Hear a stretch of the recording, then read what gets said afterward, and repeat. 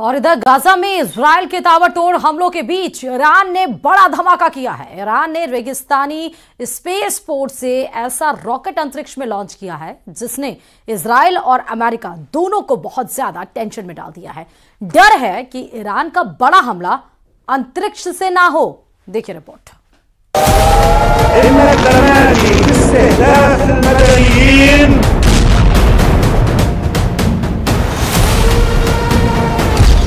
Space में पहुँची Khamenei की सैटेलाइट मिसाइल।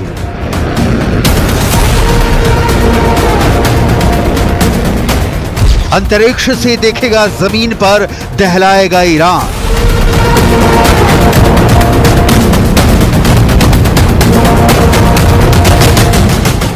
आईडीएफ का दक्षिणी लेबनान में 55 रॉकेट धमाका।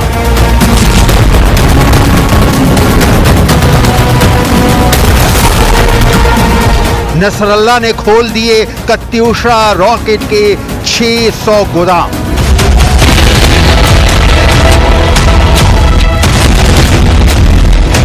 इसराइल अब अनलिमिटेड अंधाधुंध हमले कर रहा है। गाजा में हमास लड़ाकों को दौड़ा दौड़ा कर मार रहा है। लेबनान में हिजबुल्ला लड़ाकों को बारूदी धमाके से दहला रहा है। लेकिन नेतन्याहू आर्मी के लिए टेंशन देने वाला मैसेज तेहरान से आया है। इसराइल का कट्टर और सबसे बड़ा दुश्मन बहुत बड़े वॉर के लिए रेडी हो रहा है। स्पेस से इसराइल को दहलाने का रोड मैप खामनई के टॉप कमांडर्स ने बनाया है। यह ऐसा वॉर प्लान है जिसकी काट ना तो अमेरिका के पास है, ना ही इसराइल के पास।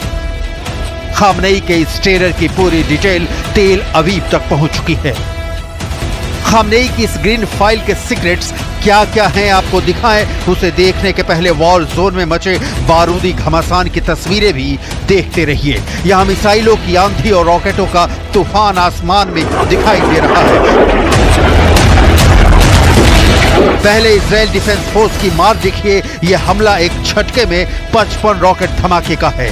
इसराइल ने हिजबुल्ला के वॉर हेडक्वार्टर को बारूद से पाट कर कई लड़ाकों को खबर में पहुँचा दिया है।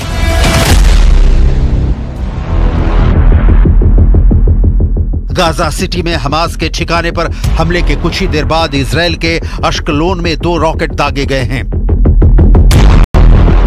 गाजा पट्टी से दागे गए दोनों रॉकेट में से एक को एयर डिफेंस सिस्टम ने मार गिराया, वहीं दूसरा रॉकेट समंदर में जा गिरा। हिजबुल्ला और हमास दोनों से अकेले जंग लड़ रहे। इसराइल का सबसे बड़ा खतरा अब स्पेस से आने वाला है, जहाँ ईरान ने पूरी ताकत लगा रखी है। ईरान ने रिवोल्यूशनरी गार्ड रिसर्च सैटेलाइट को स्पेस में भेज दिया है। आरजीसी का बनाया रॉकेट स्पेस में रिसर्च सैटेलाइट के नाम से भेजा गया है। ईरान के चामरान वन सैटेलाइट की जो डिटेल सामने आई है, उसके मुताबिक चामरान वन सैटेलाइट का वज़न 60 किलोग्राम है। ये अंतरिक्ष में 550 किलोमीटर की कक्षा में सफलतापूर्वक पहुँचा है। चामरान वन का मिशन स्पेस हार्डवेयर और सॉफ्टवेयर का टेस्ट करना है। स्पेस में ईरान का पावरफुल होने का मतलब इसराइल की मुसीबत है। ईरान ने हाल के दिनों में लगातार तेरह सैटेलाइट लॉन्च किए हैं। जनवरी 2024 में ईरान ने 15 दिनों के भीतर दो सैटेलाइट लॉन्च की थी।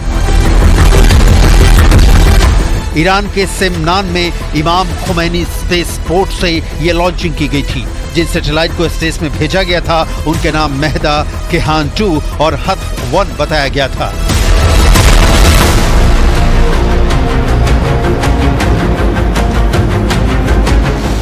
जबकि इसराइल और पश्चिमी देशों ने ईरान के स्पेस प्रोग्राम को बलिस्टिक मिसाइलों को अचूक और ज़्यादा घातक बनाने वाला षड्यंत्र करार दिया। अमेरिका ने ईरान के सैटेलाइट लॉन्चिंग का मुद्दा संयुक्त राष्ट्र सुरक्षा परिषद में भी उठाया। मगर ईरान के बलिस्टिक मिसाइल प्रोग्राम पर लगा संयुक्त राष्ट्र का बैन अक्टूबर 2023 में खत्म हो गया था। बैन हटने के बाद से ईरान ने अंतरिक्ष में खुद को पावरफुल बनाने का तूफानी मिशन शुरू कर दिया। ईरान के स्पेस वॉर प्लान में चीन खुलकर साथ खड़ा है। ईरान ने खुफिया जानकारी जुटाने को लेकर चीन के साथ एक बड़ी डील बीते अगस्त महीने में की थी।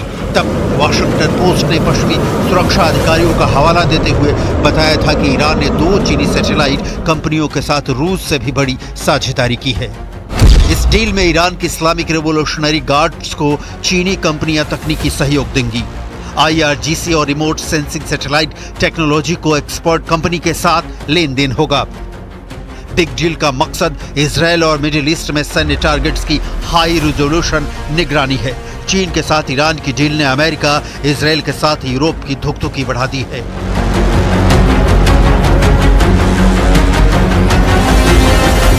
वॉशिंगटन पोस्ट की रिपोर्ट में ईरान चीन की डील के खतरों का ज़िक्र किया गया है। रिपोर्ट में चेतावनी दी गई है कि समझौते के ज़रिए ईरान को अपनी बलिस्टिक मिसाइल को टारगेट तक सटीक तरीके से पहुँचाने में मदद मिलेगी। साथ ही ईरान अपने ऊपर हुए मिसाइल हमलों को लेकर भी अलर्ट रहेगा।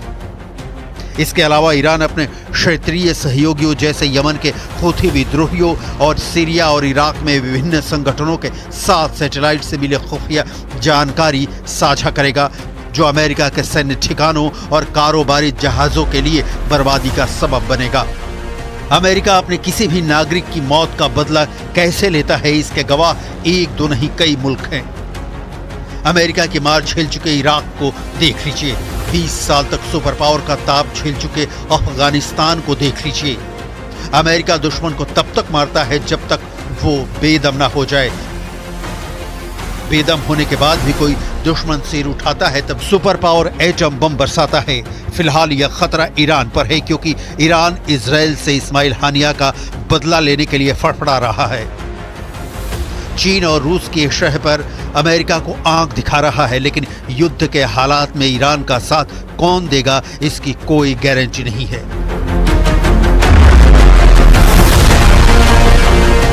चीन ने ईरान को अपने सस्ते और काम चलाऊ हथियारों की सप्लाई के सिवाय कभी साथ नहीं दिया है। वहीं अमेरिका इसराइल को हर तरह से मदद पहुंचाता है। हमास पर बरस रही मिसाइलें हों हिजबुल्ला के अड्डे पर फट रहे रॉकेट हों, या फिर होती विद्रोहियों को दहला रहे जंगी जेट। ये सभी हथियार मेड इन अमेरिका हैं। स्पेस में भी अमेरिका ही सुपर पावर है, जिसकी अपनी स्पेस आर्मी है। अमेरिकी सैटेलाइट भी दुनिया में बेजोड़ माने जाते हैं।